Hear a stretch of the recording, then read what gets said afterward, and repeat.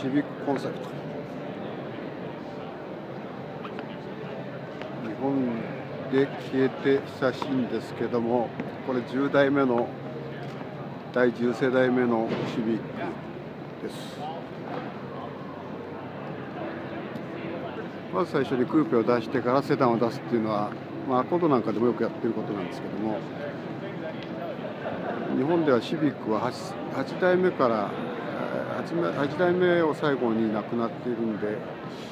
え、今シビックはどうなってるかわからないかも分かりませんけどもこんな風に大きく変わろうとしています。割とこうクラシックなラインでルーフラインとか、えーと、ベルトラインのところの雰囲気もうこれはもう見たところ2プラス2に割り切ってるデザイン、まあ、これでスタイリッシュな部分を出しておいて、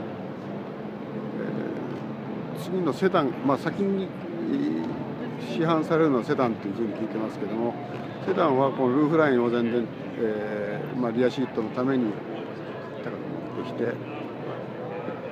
それなりのものにすると。でこれリアの、